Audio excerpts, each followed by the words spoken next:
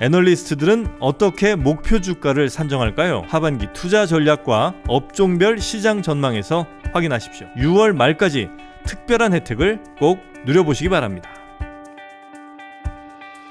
자 그러면 어, 오늘 아침 이제 뉴스 3부터 네. 하나하나 정리하도록 하겠습니다. 자 첫 번째 뉴스는요 어, 미국 뉴욕 장 얘기부터 좀 해야 될것 네, 같네요. 오늘 뭐 미국 시황 전해주는 그 코너가 없는 금요일이기 때문에 네. 제가 좀 정리를 해드리는데 일단 에, 그 FOMC 결과의 어떤 후폭풍 음. 그게 뭐 전혀 없지는 않았는데 그닥 크게 음. 에, 뭐 시장을 에, 크게 내린다거나 해서 압력을 준 그런 상황은 아닌 것 같아요. 일단 혼조입니다. 3대 지수가 다 제각각이에요. 음. 다우 지수 에, 0.62% 네. 하락한 3만 3,823. 0.6이니까 꽤 빠진 거죠. 그런데 음. 에, S&P 500 지수는 0.04 내렸으니까 이건 뭐 보합. 네네. 그죠? 그런데 기술주 중심의 나스닥은 0.87 오히려 올랐습니다. 음. 자 여기서 우리가 제가 왜 이 FOMC의 어떤 매파적인 분위기로의 전환 이런 것들을 굉장히 우려했잖아요. 그죠? 네, 네. 왜냐하면 에, 어저께 마감된 에, 미국 시장이 에, 낙폭이 좀 있었던 데다가 음. 또 어쨌든 그 FOMC 결과가 나온 다음에 쭉 빠지는 그런 모습들이 나왔기 때문에 그리고 또 금리가 꽤 많이 올랐기 때문에 네. 어, 이거 심상치 않은데 이런 분위기였는데 나스닥 지수가 오히려 0.87이 올랐다라는 거는 향후 어떤 긴축이라든지 금리 인상 혹은 에, 물가 상승에 대한 압력 이런 것들로부터 시장은 안도했다 이렇게 보는 거죠. 예를 들면 나스닥이 크게 빠지고 에, 그 다우 지수가 올랐다 이렇게 네. 되면 어 영향이 있는데 이렇게 볼 수가 있는 거죠. 왜 나스닥 지수는 성장주 아닙니까, 그죠? 네네네. 성장주가 올랐다는 거는 아 향후에도 금리가 많이 올것 같지 않은데 혹은 야 2022년 걱정을 왜 지금부터 하니? 2023년 걱정을 왜 지금부터 하니? 이런 이제 네. 생각을 미국의 투자자들이 했다는 거죠. 그리고 어제도 말씀드렸습니다마는 2022년 말까지 금리를 올려야 된다라고 점을 찍은 7명. 네. 그죠? 원래 3명이었는데 4명이 늘었다는 거 아니에요. 어제 점 음. 네. 찍은 게.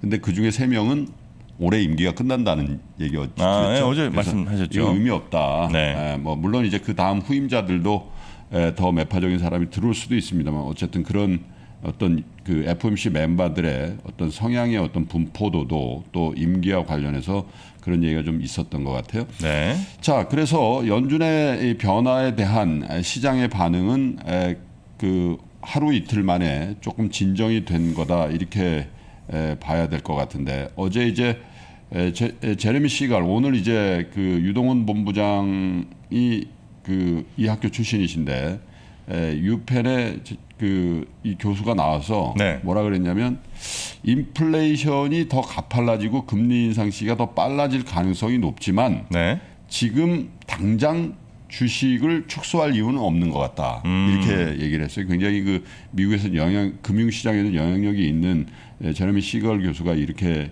에, 얘기한 것도 에, 네. 좀 시장에 좀 영향을 줬던 것 같고요. 또 한 가지 에, 어제 발표한 주간 실업 보험 청구자 수, 그러니까 나 새롭게 실업자 됐습니다라고 청구한 사람이 40만 명을 넘었거든요. 40만. 예, 이거 많이 는 거죠. 네. 2주일 전에 37만 5천 명, 지난주 41만 2천. 그러니까 이게 에, 40만 대를 넘어섰다는 건 야, 그 고용이 그렇게 뭐 썩 좋지 않은데 음. 이런 것들도 어떻게 보면 아, 향후 성장이라든지 뭐 인플레이션에 대한 에, 기대, 우려 이런 것들을 좀 누그러뜨리는. 음. 에, 그래서 나스닥이 올랐다 이렇게 봐야 될 것 같고요. 애플이 1.26, 아마존이 2.17 많이 오르죠. 네. 구글의 모기업 알파벳 0.8, 테슬라도 1.94. 이래서 기술주의 상승세가 두드러졌고 빠진 데는 어디가 빠졌냐? 에너지와 금융업종이 빠졌다는 거예요. 에너지가 3.49, 금융업종이 2.94. 원래 네. 금융업종은 뭡니까? 금리가 올라가면 돈 많이 버는 데잖아요. 그게 이제 거의 3%까지 빠졌다라는 거. 그리고 산업재도 1.5 마이너스, 소재업종 2.2. 그러니까 경기가 좋아지면 네. 돈 많이 버는 업체들이 대부분 다 빠졌다라는 거죠. 아마 실업수당 청구 건수의 영향도 있었던 것 같고요. 기술주가 1.17 올랐고 유틸리티 0.49, 헬스 0.79 이런 것들이 이제 시장을 주도했습니다. 그리고 제가 말씀드린 것처럼 10년 만기 미국 국채 수익률도 약 5bp 이상 네. 빠지는 그런 모습을 보여서 에, 빅스 지수라고 하잖아요. 음. 그 공포 지수 그것도 상당히 낮은 에, 지수대에서 에, 안정되는 그런 모습을 보였습니다. 그래서 혼조지만 네. 에, 한숨을 좀 쉰 그런 미국 시장이다 이렇게 정리가 되겠습니다. 네. 어, 특별한 방향성을 갖고 가지는 않았군요. 미국 네. 증시도. 근데 어쨌든 뭐 FOMC가 굉장히 그 매파적으로 변했다 막 이런 기사들이 막 네, 쏟아졌잖아요. 네, 네. 그런 걸 감안해서 보면 나스닥의 1%는 아닙니다만 한 0.8% 정도의 상승 음. 이건 의미 있는 상승이라고 아. 보여지는 겁니다. 네. 자, 그리고 두 번째 뉴스도 전해 드리도록 하겠습니다. 지금 우리 지수가 거의 뭐 사상 최고치 부근에서 계속 어, 뭐 어, 사상. 최고치죠. 네, 그 부분인데 어 그러다 보니까 아 이제는 좀 하락하겠구나 싶어서 곧버스에 또 투자하는 분들이 아 진짜 작년에 이, 이 KODEX 200 선물 inverse 2X 이걸 이제 줄여서 곱버스라고 하는데 네. 아, 이것 때문에 고생 많으셨죠 작년에 아 계속 오르니까. 계속 오르- 계속 오르. 네. 예, 작년 3월달에 이거 혹시라도- 하신 분들은 마이너스 8% 80%막 이렇게 갔잖아요. 네. 예. 근데 자 이게 근데 지금 6월 들어서 개인 순매수 상위 종목을 차트를 보여주시면 네. 1등이 포스코예요. 3,500억을 샀어요. 저 보시죠. 6월에 예, 6월 들어서만. 네. 그 다음에 2등이 바로 이 곧버스입니다. 음. 예, 3,285억 원을 샀어요.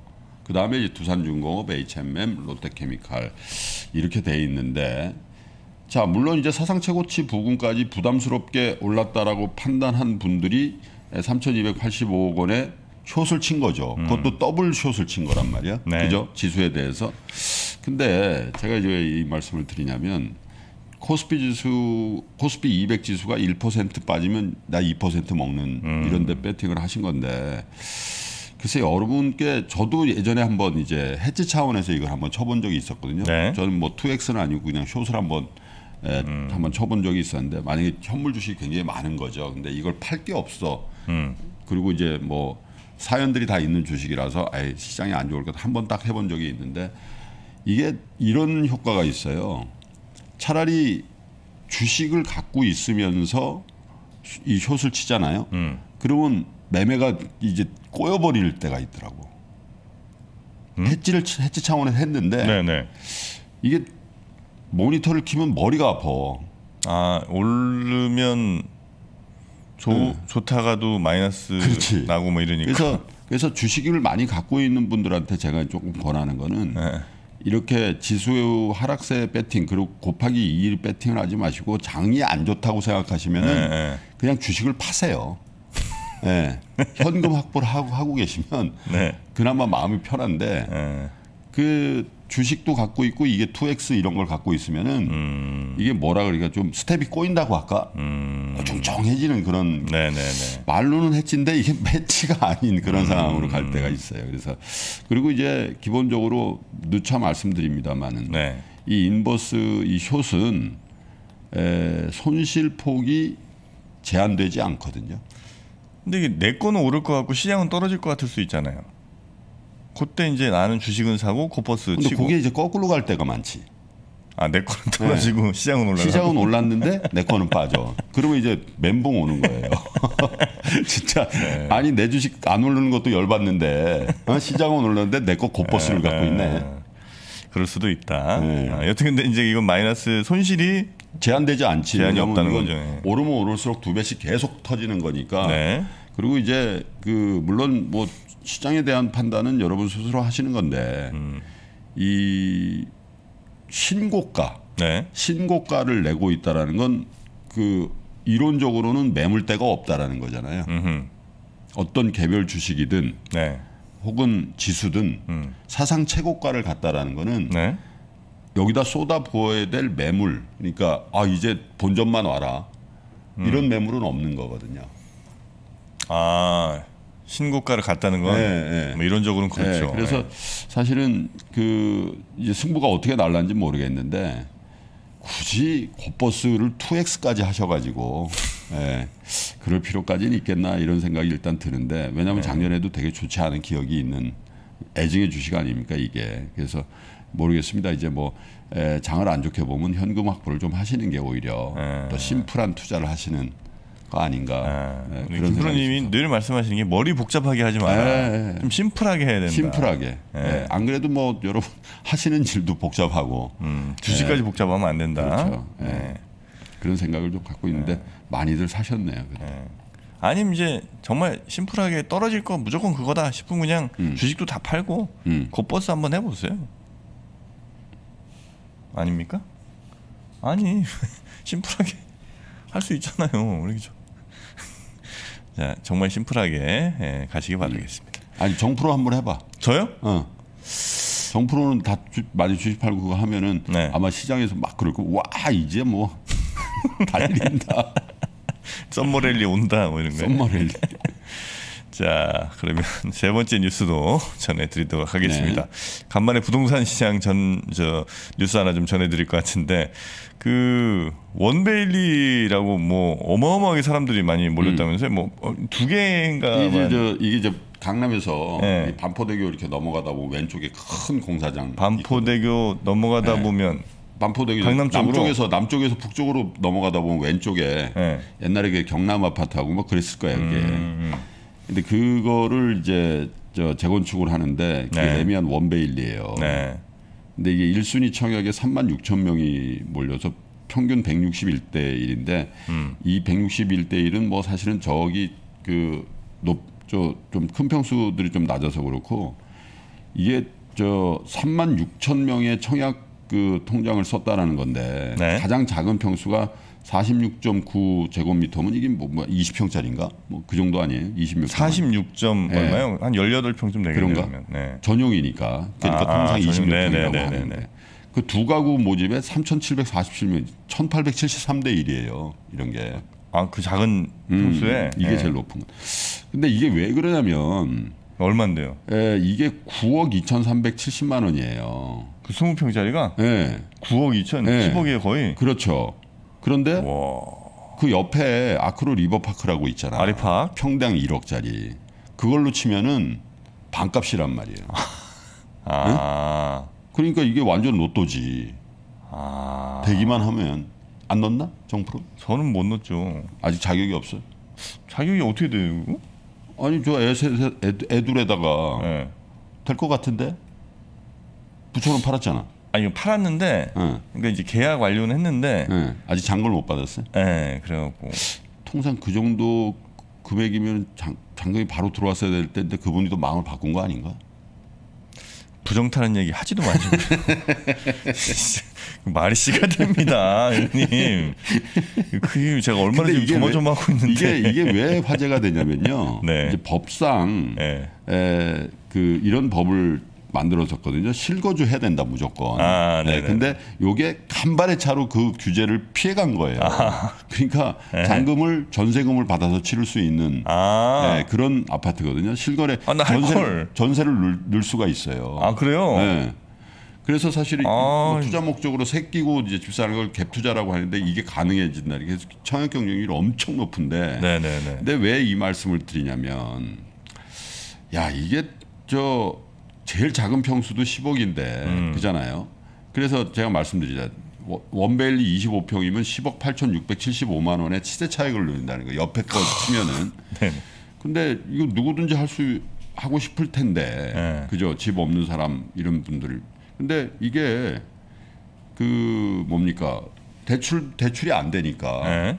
현금이 없으면은 네. 이거를 아예 못 한다는 거죠 아 현금 동원력이니까 그러니까 현금 부자들만 할 수 있다 이런 거잖아요 현금이 얼마 필요한데요? 지금 당장. 대출 안 해주니까 뭐 전세 그 잔금 한 2억 받는다들 한 8억은 필요하겠죠 8억? 예.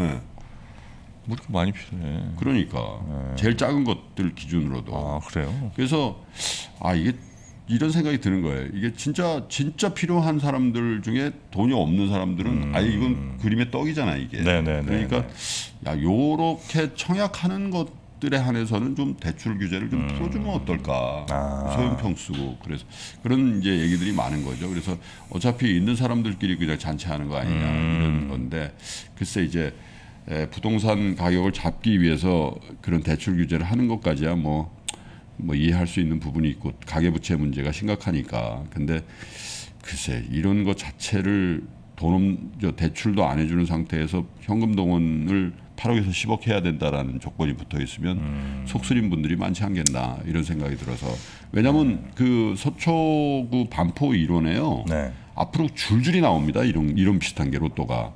예를 들면 반포동의 레미안 원 펜타스 이게 신반포 15차 거고요.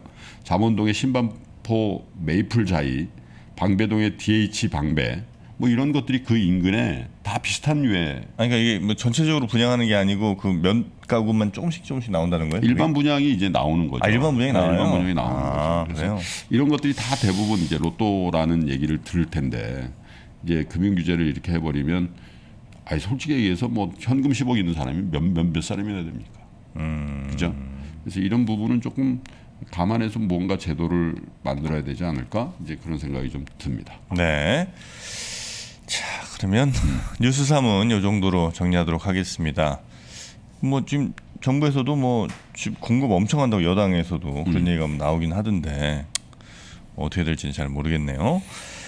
자, 그러면 오늘 어, 유동원 본부장이 지금 이제 준비하고 계십니다. 네, 여러분이 보고 싶어 하셨던 유동원 본부장님 모시고 어떤 강세장, 어떤 장들이 펼쳐질지 한번 말씀 들어보도록 하겠습니다. 잠시 전하는 말씀만 짧게 듣고 오겠습니다. 나는 가치 투자자인데 기술적 분석까지 알아야 될까? 기술적 분석 좀 중요한 것 같긴 한데 배우기가 좀 어렵지 않을까? 2021년도 3프로TV 주식대학 여름학기 교보증권 박병창 부장이 쓴 매매 기술 이 책에서는 직접 알려드리기 좀 어려웠던 실제 매매 상황을 강의 영상에 담았습니다. 가치 투자자라도 꼭 알아야 하는 가치 투자자일수록 꼭 알아야 되는 차트 해석법 자세한 사항은 페이지2 앱의 공지사항을 확인하세요.